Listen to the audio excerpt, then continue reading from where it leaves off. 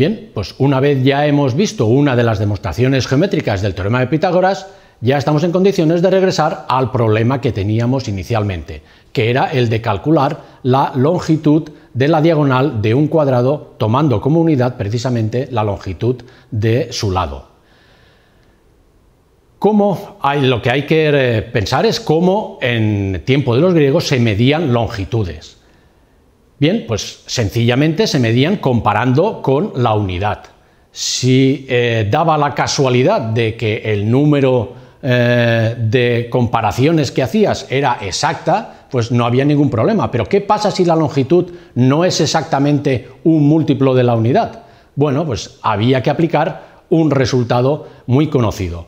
Un resultado que es el teorema de, seguro que ya sabes a qué eh, teorema me refiero, pero por si acaso vamos a recordarlo. Para saber cómo los griegos medían longitudes, pues es necesario que nos desplacemos a una mítica población que es origen de todos los cuentos y leyendas, sobre todo de los cuentos y leyendas matemáticos.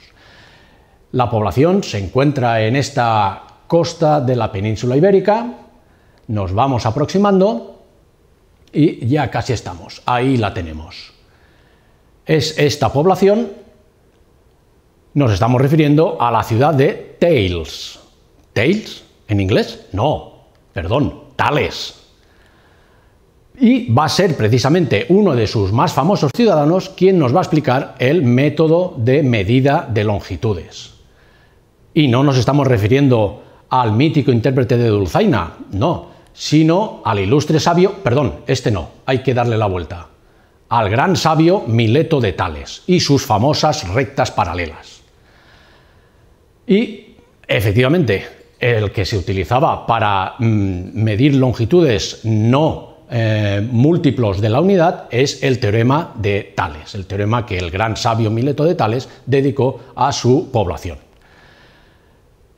Y el teorema, el enunciado, dice lo siguiente, los segmentos determinados por rectas paralelas en dos rectas concurrentes son proporcionales. Las rectas concurrentes son las que se intersectan ahí en un punto y los segmentos que interceptan esas rectas paralelas pues resulta que las proporciones son las mismas. O sea, la proporción entre la longitud entre A y B y entre A y' B' es la misma que entre C y D y C' D', etcétera, o cualquiera de esos segmentos interceptados ahí.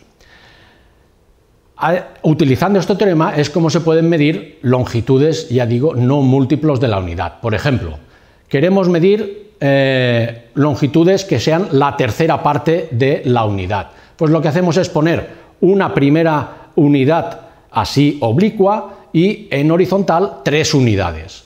A continuación unimos los puntos extremos y después vamos a trazar rectas paralelas a esa mediante pues los instrumentos que tengo aquí, la escuadra y cartabón. Como lo estamos haciendo ahora con eh, estos instrumentos, pues los vamos a dejar por ahora de lado.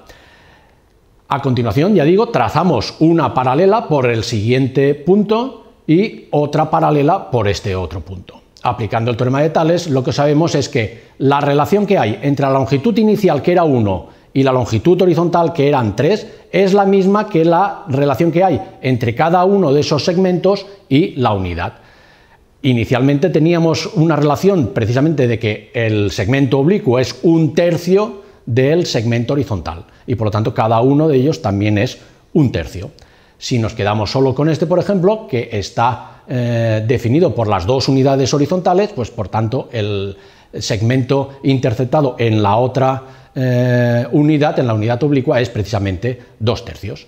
Bien, pues así es como medían longitudes no múltiplos de la unidad y por lo tanto lo que sabían era que todas las longitudes racionales se pueden medir, son medibles. Las longitudes de la forma P partido por Q con P y Q números enteros positivos se pueden medir utilizando ese teorema.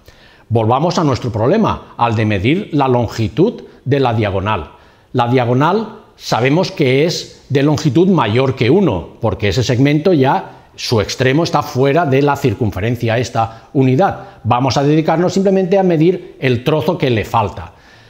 Si ponemos ahora ahí 5 unidades en horizontal y ponemos la unidad que faltaba en oblicuo y trazamos paralelas tal como hemos hecho antes, vemos que efectivamente la segunda de las paralelas parece que sí que va al extremo que queremos, ¿no? al extremo de la diagonal, a esa eh, esquina del cuadrado. Sin embargo, si ampliamos ahí, pues se ve que no llega. Esas eh, longitud, ¿no? como hemos puesto 5 unidades respecto a una, pues cada uno de los segmentos es un quinto, 0,2. Ahí parece que son eh, dos eh, segmentos de estos de un quinto, por lo tanto es una longitud de 0,4, pero como vemos ampliando, es un poco más de 0,4. Bien, pues este es el problema que tenían los matemáticos pitagóricos, con el cual intentaban, haciendo mediciones de este estilo, llegar a un número racional, pero que no podían de ninguna manera.